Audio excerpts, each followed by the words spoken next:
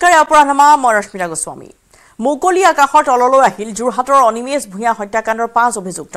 গুৱাহাটী উচ্চ ন্যায়ালয়ত জামিন লাভ কৰিলে অভিযুক্ত বুহন দাস বিতুপন দাস অকণি ওৰফে সঞ্জু দাস ৰাতুল দাস আৰু বিক্ৰম দাসে। বাকী অভিযুক্তয়ো শীঘ্ৰে জামিন পোৱাৰ সম্ভাৱনা আছে। ঘটনাৰ মূল অভিযুক্ত নীৰজ দাস ওৰফে ক'লা ল'ৰাৰ মৃত্যু হৈছে।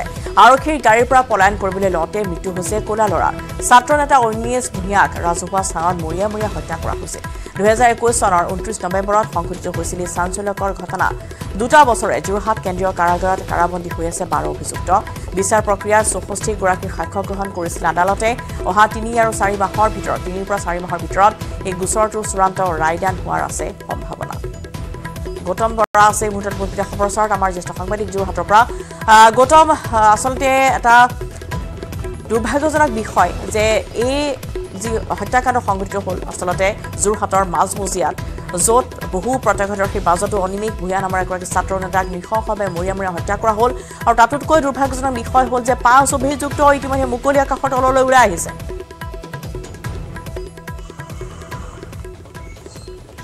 হয়। আৰু নিশ্চয়কৈ ৰশ্মিতা চাওক যে দুহেজাৰ একৈছ চনৰ ঊনত্ৰিছ নৱেম্বৰত এই ঘটনা সংঘটিত হৈছিলে আৰু এই ঘটনাৰ চাৰ্জশ্বীট আৰক্ষীয়ে তিনি মাহৰ ভিতৰতে দাখিল কৰিছিলে। আৰু দুহেজাৰ বাইছ বৰ্ষৰ মাজভাগৰ পৰাই এই গোচৰৰ শুনানি আৰম্ভ হৈছিলে যোৰহাটৰ জিলা আৰু সত্ৰ ন্যায়াধীশৰ আদালতত।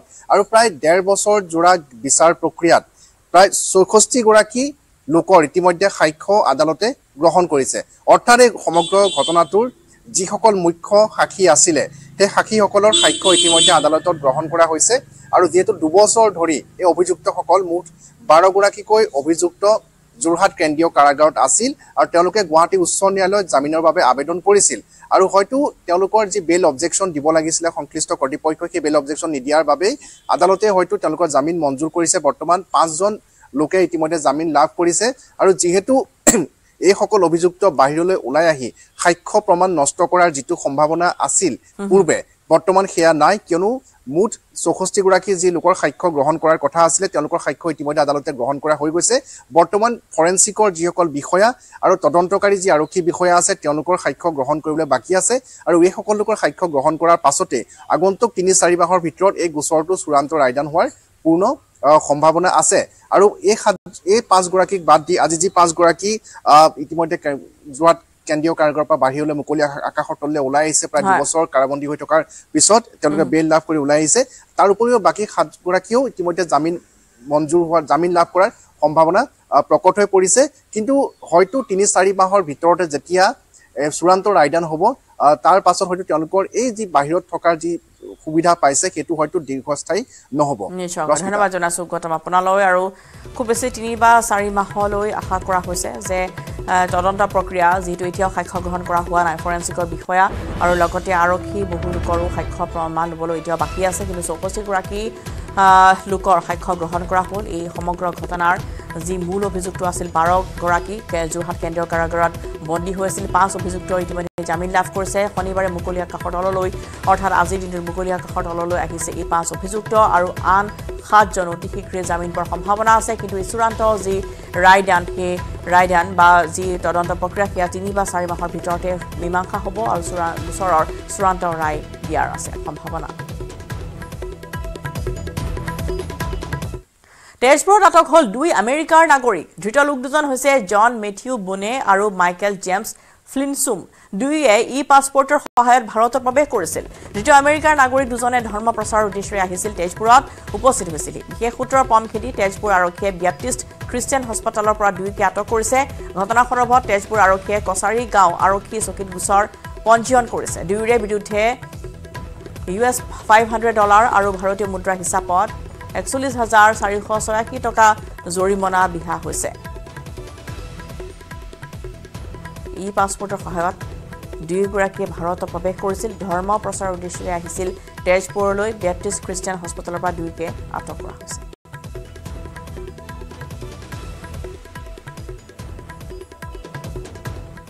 জীয়াই আছে পুনম পাণ্ডে। ভাইৰেল হ'ল পুনম পাণ্ডেৰ এটা ভিডিঅ' চাৰ্ভিকেল কেঞ্চাৰক লৈ সজাগতা বিয়পোৱাৰ বাবেহে অভিনেত্ৰীগৰাকীয়ে এই নাটক কৰাৰ দাবী কৰিছে। কিন্তু ভিডিঅ' ভাইৰেল হোৱাৰ পিছতে তীব্ৰ সমালোচনা কৰা হৈছে অভিনেত্ৰীগৰাকীক। সস্তীয়া প্ৰচাৰৰ বাবে অভিনেত্ৰীগৰাকীয়ে এনে কৰাৰ দাবী নেটিজেনৰ। বহু লোকে আকৌ গ্ৰেপ্তাৰৰ দাবী জনাইছে পুনম পাণ্ডেক। পুনম পাণ্ডেৰ জীয়াই থকাৰ এটা ভিডিঅ' ভাইৰেল হৈছিল আমি আগবঢ়াই দিছোঁ Hi everyone, it's Poonam. I'm sorry I've caused this tear and I'm sorry to those whom I've hurt. My intention? To shock everyone into the conversation that we are not talking enough about, which is cervical cancer. Yes, I faked my demise. Extreme, I know. But suddenly we all are talking about cervical cancer, aren't we? It's a disease that silently takes your life And this disease needed the spotlight urgently. I'm proud of what my death news has been able to achieve. And for those who have questions for me, I will see you live on Hot to Fly.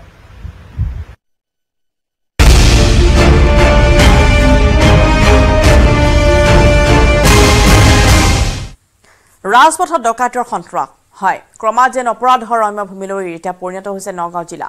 নিতৌ সংঘটিত হৈ আহিছে ইটোৰ পিছত সিটোকৈ অপৰাধমূলক কাৰ্য। এইবাৰ কলিয়াবৰত ৰাষ্ট্ৰীয় ঘাইপথতে চাঞ্চল্যকৰ ঘটনা সংঘটিত হৈছে। বাহন আগচি যাত্ৰীক ৰদেৰে প্ৰহাৰ কৰিলে দুৰ্বৃত্তই। মহিলাৰ অলংকাৰ কাঢ়ি নিয়াৰ চেষ্টা চলালে এই দুৰ্বৃত্তৰ দলটোৱে। এখন ইনোভা বাহনেৰে গুৱাহাটীৰ পৰা সৰু পথাৰলৈ গৈ আছিল নৱ আঠ মঙলা খাই সৰু পথাৰলৈ উভতি গৈছিল পাঁচজনকৈ লোক কলিয়াবৰৰ মিছা পাৰ হোৱাৰ পিছতে এখন বলেনো বাহনে আগচি ধৰে ইনোভা বাহনখনক। ইনোভাখনে নিয়ন্ত্ৰণ হেৰুৱাই বলেনোখনক সামান্য খুন্দা মাৰে আৰু তাৰ পিছতে বাহনৰ পৰা ৰড উলিয়াই ইনোভা বাহনত খটাই থকা তিনিজনক প্ৰহাৰ কৰিলে বলেনোখনৰ দুৰ্বৃত্তই।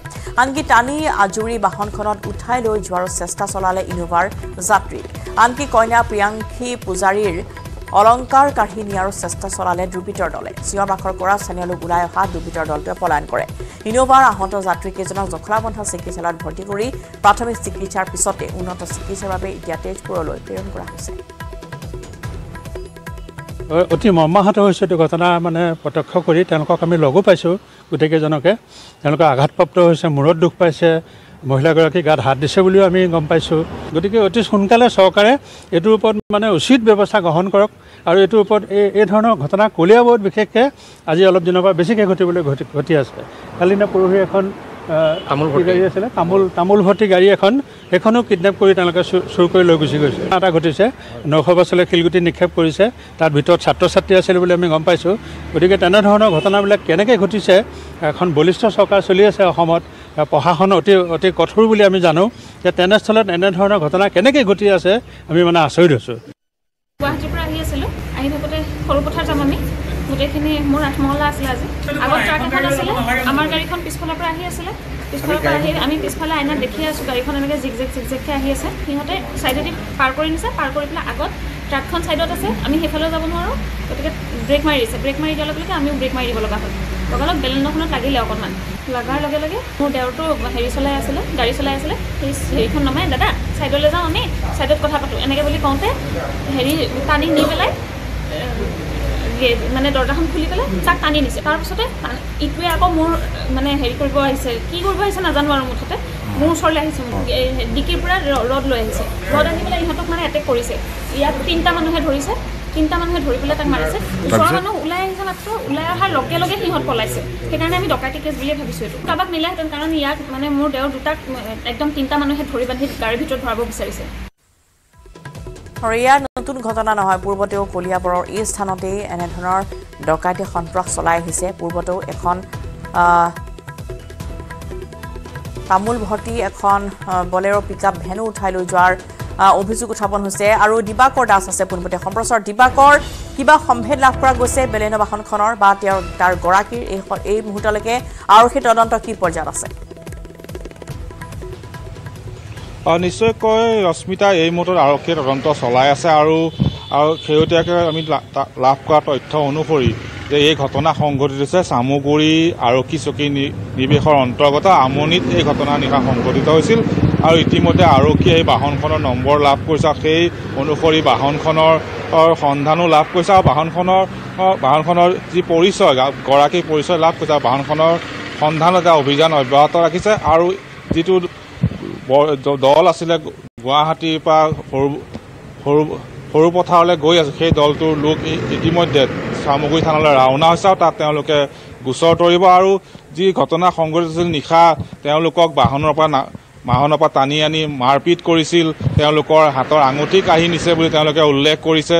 তেওঁলোকৰ বাহনখন কাঢ়ি নিয়াৰ উদ্দেশ্যে যেন এই ডকাইতৰ দলটোৱে তেওঁলোকক বাট আগচি ধৰিছিল আৰু ইতিমধ্যে তেওঁলোকে ভাষ্য প্ৰদান কৰিছে যে তেওঁলোকৰ বাহনখনৰ চাবি তেওঁলোকে কাঢ়িব বিচাৰিছিল কিন্তু সৌভাগ্যক্ৰমে নিব নোৱাৰিলে। হয়তো বাহনখন চুৰিৰ বাবেই এই যি ডকাইতি কাণ্ড কালি নিশা সংঘটিত হৈছিল কিন্তু সৌভাগ্যক্ৰমে ইয়াত স্থানীয় লোকৰ তৎপৰতাত কিন্তু তেওঁলোক ৰক্ষা পালে এই মুহূৰ্তত আৰক্ষীয়ে তদন্ত অব্যাহত ৰাখিছে। বাহনৰ গৰাকীৰ নামো লাভ কৰিছে আৰু বাহনখনৰ সন্ধানত অভিযান আৰম্ভ কৰিছে। নিজকে ধন্যবাদ জনাইছোঁ দিবাকৰ আপোনালৈ। আৰু এনেদৰে বাহনৰ গৰাকীৰ সম্ভেদ লাভ কৰিছে। আৰক্ষীয়ে অনুসন্ধান আৰম্ভ কৰা হৈছে। আমনিত এই ঘটনা সংঘটিত হোৱাৰ কথা উল্লেখ কৰা হৈছে।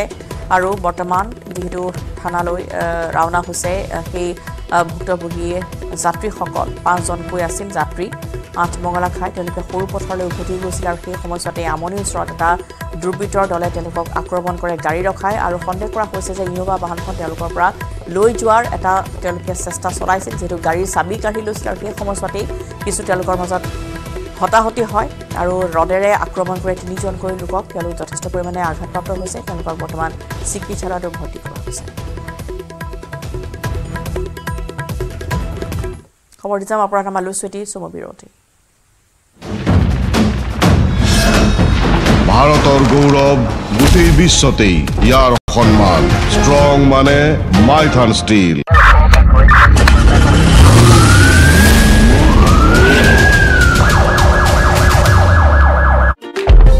তেনে সময়তেই সমগ্ৰ মধ্যপ্ৰাচ্যতে চানি ধৰিছে এই সংঘাত হামাছ আৰু ইজৰাইলৰ এই যুদ্ধৰ প্ৰভাৱ। কি লোহিত সাগৰ কি লেবানন ইজৰাইল সীমান্ত কি ইৰাণ আৰু ইজৰাইলৰ সংঘাত ইৰাণ আৰু আমেৰিকাৰ সংঘাত তাৰ মাজতে আমেৰিকাৰ ওপৰত এয়া ভয়ংকৰ আক্ৰমণৰ ঘটনা সংঘটিত কৰিলে ইৰাণৰ সন্ত্ৰাসবাদী সংগঠনটোৱে।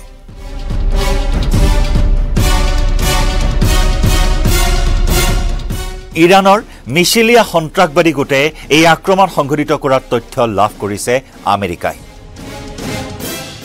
চিৰিয়া জৰ্ডান সীমান্তৰ বাইশ নম্বৰ টাৱাৰৰ আমেৰিকান সেনাৰ ঘাটিত নিশাৰ ভাগত ড্ৰোনেৰে আক্ৰমণ কৰে মিছিলিয়া সন্ত্ৰাসবাদী গোটে। ইতিমধ্যেই যি ত্ৰিশজনকৈ আমেৰিকান সেনা আহত হৈছে। তাৰ ভিতৰত আঠজনৰ অৱস্থা অতি সংকটজনক বুলিও জানিব পৰা হৈছে।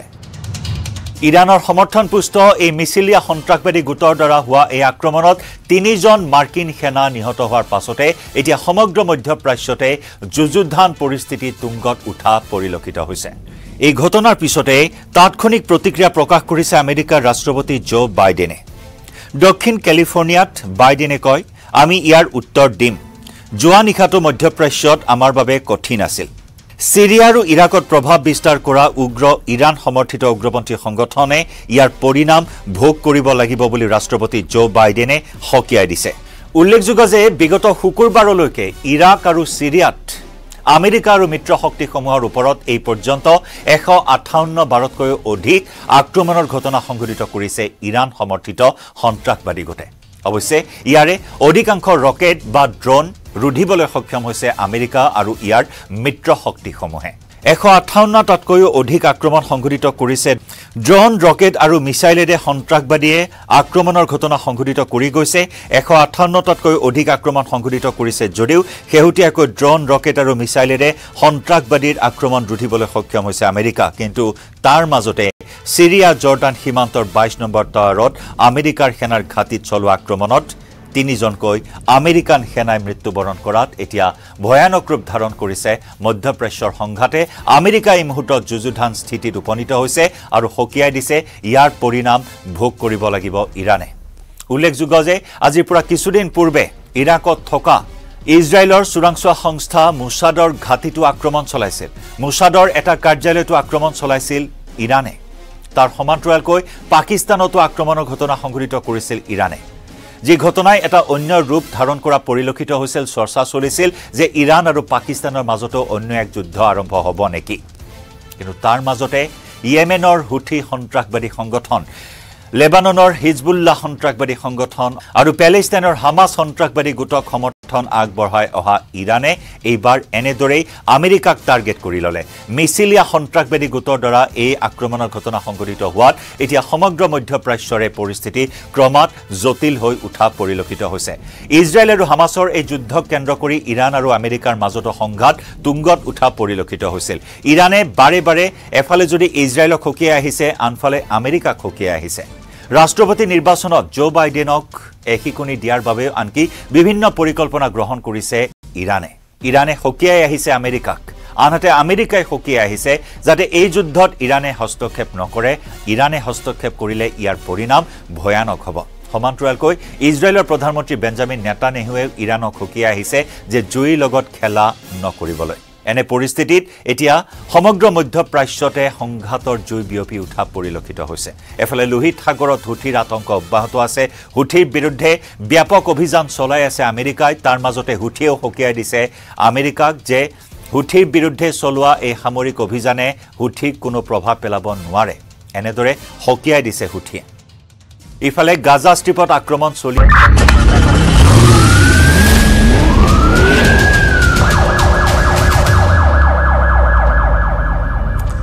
মানস চলিহা সন্দৰ্ভত মানস বৰগোহাঁই বক্তব্য সন্নিৱিষ্ট পুনৰ আন এটা ভিডিঅ' প্ৰেৰণ কৰিছে আলফা স্বাধীনে। মানস চলিহা সন্দৰ্ভত প্ৰেৰণ কৰা তৃতীয়টো ভিডিঅ'ত উল্লেখ কৰা হৈছে বহুতো তথ্য। কি কি তথ্য উল্লেখ কৰা হৈছে? মানস চলিহা এছ বিৰ জ'নেল হেড বুলি জনাইছে। ভিডিঅ'টোত মানস বৰগোহাঁই এই তথ্য ইতিমধ্যে প্ৰকাশ কৰিছে। এছ বিৰ সকলো অপাৰেশ্যন তদাৰক কৰে মানস চলিহাই। মানস চলিহা সন্দৰ্ভত পুনৰ আন এটা ভিডিঅ' প্ৰেৰণ কৰিছে মানস বৰগোহাঁয়ে গুপ্তচৰৰ বাবে মানস চলিহাই তদাৰক কৰিছিল প্ৰশিক্ষণৰ। মানস চলিহাৰ উদ্যোগতে অপাৰেশ্যন সকলো কাম কাজ হৈছিল। সমূহ অসমবাসী আপোনালোকে জানিছে মোৰ কি অৱস্থা হৈ আছে। যিজন মানুহে মোক ইয়ালৈ এটা বিশেষ অভিযান দি পঠিয়াইছিলে আজি তেখেতে কৈছে মোক চিনি নাপায়। মানস চলিহাই যি ধৰণে কৈছে যে মানস চলিহাই মোক কোনো ক্ষেত্ৰত চিনি নাপায় সামাজিক জীৱন হওক প্ৰফেচনেল লাইফত হওক বা পাৰ্চনেল লাইফত হওক তেখেতে মোক কোনো ক্ষেত্ৰত চিনি নাপাওঁ বুলি কৈছে। সেই কথা প্ৰকৃততে তেখেতে যে এটা মিছা কথা কৈছে তেখেতে নিজক বচোৱাৰ এটা যে সম্পূৰ্ণ পৰিকল্পনা কৰিছে সেই কথা আপোনালোকক মই জনাব বিচাৰিছোঁ। ৰাইজ তেখেতে যদি মোক প্ৰফেচনেলি চিনি নাপায় তেতিয়া ব্যক্তিগতভাৱেও চিনি নাপাব। কিন্তু ব্যক্তিগতভাৱে চিনি পোৱাৰ মই এটা কাৰণ কৈ দিওঁ। মোৰ গাৰ্লফ্ৰেণ্ডৰ নাম চুমি বৰা। তাইৰ ঘৰ দেৰগাঁৱৰ গণকপুখুৰী জুগনীয়া গাঁৱত। তাই আৰু পিংকি। পিংকি মানস চলিহাৰ গাৰ্লফ্ৰেণ্ড হয়। পিংকি ঘৰো গণপুখুৰী চালিয়াৰী জুগনীয়া গাঁৱত পিংকি আৰু চুমি বৰা দুয়োগৰাকী সৰুৰে কালৰ পৰা বন- বান্ধৱী। আৰু তেওঁলোক দুয়োগৰাকী একেখন স্কুলতে পঢ়া একেখন গাঁৱৰে একেখন চুবুৰীৰে ছোৱালী। আৰু দুয়োগৰাকী যেতিয়া বান্ধৱী হয় দুয়োগৰাকী বাল্যকালৰ বান্ধৱীৰ মাজত তেওঁলোকৰ বয়ফ্ৰেণ্ডৰ কথা কেতিয়াও আলোচনা নোহোৱাকৈ নাথাকে। আলোচনা হয় আৰু সকলোৱে চিনি পায়। মই যেনেকৈ পিংকিৰ বয়ফ্ৰেণ্ডক চিনি পাওঁ ঠিক তেনেধৰণে মানস চলিহাই মোক চিনি পায়। মানস চলিহা কোনো প্ৰজেক্ট অফিচাৰ অৰ্গেনিক ফাৰ্মিঙৰ কোনো প্ৰজেক্ট অফিচাৰ বা অৰ্গেনিক ফাৰ্মিঙৰ লগত জড়িত ব্যক্তি নহয়। তেওঁ প্ৰকৃততে এছ বিৰ জনেৰেল হেড হয়। এছ বিৰ দ্বাৰা নিয়োজিত হোৱা জেনেৰেল হেড হয়। তেখেতে গোটেই অপাৰেশ্যনখিনি কেনেকৈ পৰিচালনা কৰিব লাগে যুৱক যুৱতীক কেনেধৰণে প্ৰশিক্ষণ দিয়াব লাগে যুৱক যুৱতীক কেনেধৰণে প্ৰলোভন দেখাই নিয়োজিত কৰাব লাগে সেই সকলোখিনি মানস চলিহাই কৰে। মানস চলিহাই এই সকলোখিনি কাম কৰি এতিয়া মানস চলিহাই ক'ব বিচাৰিছে তেখেত নহয়। কিন্তু প্ৰকৃতাৰ্থত মানস চলিহাই হয় এছ বিৰ জনেৰেল হেড। আৰু মানস চলিহাই কোনো প্ৰমাণ যি নোহোৱাৰ কথা কৈছে।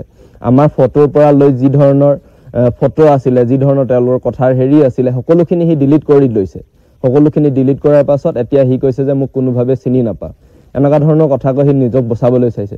ঠিক তেনেধৰণে আজি মোক যি অৱস্থা কৰিছে আৰু বহুতকে তেনে অৱস্থা কৰিছে সি এতিয়া কৈ আছে সি এছ বিৰ মানুহ নহয় সি অৰ্গেনিক ফাৰ্মিং কৰে। সম্পূৰ্ণ ভুৱা কথা। সম্পূৰ্ণ সি নিজৰ এটা প্ৰচাৰ চলাই আছে যে সি অৰ্গেনিক ফাৰ্মিঙৰ লগত জড়িত অৰ্গেনিক ফাৰ্মিঙৰে কাম কৰে প্ৰজেক্ট অফিচাৰ হয় এনেকুৱা ধৰণৰ নিজৰ এক ভুৱা প্ৰচাৰ চলাই আছে। কাৰণ কিয়? যেতিয়া ল'ৰা ছোৱালীবোৰ পঠাই ফচে ফচিলে যাতে মানস চলিহাৰ কোনো নাম ল'ব নোৱাৰে মানস চলিহা কোনো দায়ী নহয় তাৰ বাবে মানস চলিহাই এনেধৰণৰ নিজক এটা অপপ্ৰচাৰ চলোৱাই আছে। মানস চলিহাই যি ধৰণে মোক ব্যৱহাৰ কৰিছে ঠিক তেনেধৰণে বহুকেইগৰাকী ছোৱালী বহুকেইগৰাকী ছোৱালীক বিশেষকৈ ছেক্স এডুকেশ্যন দিছে। ছেক্স এডুকেশ্যন দি নাই আলফা চাইডনৰ যি নেতাসকলক কেনেধৰণে নিজৰ প্ৰতি আকৰ্ষিত কৰিব পাৰি তাৰ ওপৰত বিশেষ ধৰণে গুৰুত্ব দিয়াইছে। আৰু প্ৰথম অৱস্থাত কি হয় মানস চলিহাই চাকৰি দিয়াৰ সকলোকে টোপ দিয়ে। বহুত অসমবাসী ৰাইজে বহুতেই জানে যে মানস চলিহাই কেনেধৰণে চাকৰি দিয়াৰ টোপ দিয়ে পইচা লয়। সেই পইচা দি পিনে চাকৰি দিয়াৰ টোপ লয় আৰু তাৰ মাজৰে কিছুমানক বিশেষ দেখায় যে ক্ষমতাৰ ব্যৱহাৰ কেনেধৰণে কৰিব পাৰি আৰু টকা পইচাৰ টোপ দেখুৱায়। ঠিক তেনেধৰণে সেই যুৱতীকেইগৰাকীকো দেখুৱাইছে। তেওঁলোকক এতিয়া বিশেষকৈ চাৰ্জাৰী কৰাই আছে। তেওঁলোকক কেনেধৰণে যাতে আলফা স্বাধীনৰ নেতাসকলক নিজৰ প্ৰতি আকৰ্ষিত কৰিব পাৰি সেই শিক্ষা দিয়াই আছে। মই আপোনালোকলৈ এটা অনুৰোধ কৰিব বিচাৰিছোঁ। যিসকলে প্ৰশিক্ষণ লৈছে আপোনালোকে এনে ভুল নকৰিব। মোৰ যি অৱস্থা হৈছে আপোনালোকৰ যাতে তেনে অৱস্থা নহয়। মই এজন একজন অসমীয়া হয় তাৰ বাবে মই আপোনালোকক কাটৰ আহ্বান কৰিছোঁ। আৰু বিশেষকৈ গণপুখুৰী চাৰিআলিৰ ৰাইজসকলক মই এটা বিনম্ৰ অনুৰোধ কৰিব বিচাৰিছোঁ যে আপোনালোকে জানে মানস চলিহাই মোক চিনি নে নাপায়। যুগনীয়া গাঁৱৰ ৰাইজেও জানে যে মানস চলিহাই মোক চিনি পায় নাপায়। আপোনালোকে সত্যটো কওক। এনক্লেভত শিকোৱাই আছিলে four zero' one four zero' nine আৰু টু জিৰ' ছেভেনত ফ্লেট নাম্বাৰত সেই ফ্লেটকেইটাত আমাক যেতিয়া শিকোৱাই আছিলে তাত এটাত বিশেষকৈ অকল শিকাইছিলে ছোৱালীখিনিক। ছোৱালীখিনিক ছেক্স এডুকেশ্যনৰ ওপৰত বিশেষকৈ শিকাই আছিলে। আৰু সেয়েহে বহু যুৱতী আকৰ্ষিত হৈছে পইচাৰ প্ৰতি মুখ গৈছে। নাযাব তেনে ভুল নকৰিব। আমাৰ মগজত যি সোমোৱাই দিছে আলফা চাইনৰ প্ৰতি এটা এক ঘৃণনীয় ছবি আমাৰ মগজত সোমোৱাই দিছে তেনে নহয়। মই আজি অপৰাধীভাৱে এনেধৰণে থাকিব লগা হৈছে। কিন্তু সঁচা অৰ্থত যিসকল সংগ্ৰামী হৈ আহিছে তেওঁলোকে আমাৰ তাৰ সমাজতকৈ যথেষ্ট এখন ভাল সমাজ পাই পাইছে। কাৰণ আমাক দেখুওৱা সকলোবোৰ ছবি মিছা। কাৰণ মানস চলিহাৰ দৰে মানুহে আমাক ব্যৱহাৰ কৰে। আমাক মৃত্যুৰ মুখলৈ ঠেলি দিয়ে। মোক এতিয়া মৃত্যুৰ মুখলৈ ঠেলি দিছে। সেয়ে সমূহ অসমবাসী ৰাইজ আপোনালোকে বিচাৰ কৰক। মানস চলিহাই কি মিছা কথা কৈছে কি সঁচা কথা কৈছে আপোনালোকে বিচাৰ কৰক। আপোনালোকে সকলো কথা জানে। আপোনালোকে জানিব মোক মৃত্যুৰ মুখলৈ ঠেলি দিয়া মানুহজনে মই কেতিয়াও মিছা কথা কোৱা নাই ৰাইজ। আৰু যিসকলে ইয়ালৈ এনেধৰণে আহিম ভাবিছে তেওঁলোকক মই বিনম্ৰ অনুৰোধ কৰিছোঁ তোমালোকে নাহিবা। তেনে ভাৱ লৈ মানস চলিহাৰ দৰে মানুহৰ কথাত প্ৰলোভনত মোৰ নাযাবা। তোমালোকে সেই ভুল নকৰিবা। মই কৰা ভুল তোমালোকে আকৌ দুনাই নকৰিবা। মই যেন একজন অসমীয়া হওঁ সেয়ে তোমালোকলৈ মোৰ কাটৰ আহ্বান। এ এছ চিৰ ছাত্ৰ বৰ্ণিল কলিতাৰ মৃত্যুক লৈ এতিয়া ৰহস্য। পৰিয়ালৰ মতে হত্যাৰ বলি হৈছিল বৰ্ণিল কলিতা। দুৰ্ঘটনা নে হত্যা কৰা হৈছিল বৰ্ণিল কলিতাক তাক লৈ ৰহস্য ঘন হৈ আছে সমগ্ৰ বিষয়টো। বান্ধৱীৰ মতে ৰেলৰ খুন্দাত মৃত্যু হৈছিল বৰ্ণিলৰ। মৰণোত্তৰ পৰীক্ষাৰ অন্ততহে ফাদিল হ'ব ৰহস্য। সমগ্ৰ ঘটনাৰ ৰহস্যৰ গোন্ধ পাইছে বৰ্ণিল কলিতাৰ পৰিয়ালে। ঘটনাৰ সময়ত বৰ্ণিলৰ লগত আছিল এগৰাকী সহপাঠী। ঘটনা সন্দৰ্ভত জালুকবাৰী থানাত এজাহাৰ দাখিল কৰিছে পিতৃয়ে। বান্ধৱীগৰাকীৰ কথাত অমিল পাইছে পৰিয়ালৰ লোকে। বৰ্ণিলৰ মূৰৰ পিছফালে স্পষ্ট আছিল আঘাতৰ চিহ্ন। জালুকবাৰীৰ ৰেল লাইনত উদ্ধাৰ কৰা হৈছিল বৰ্ণিল কলিতাৰ মৃতদেহ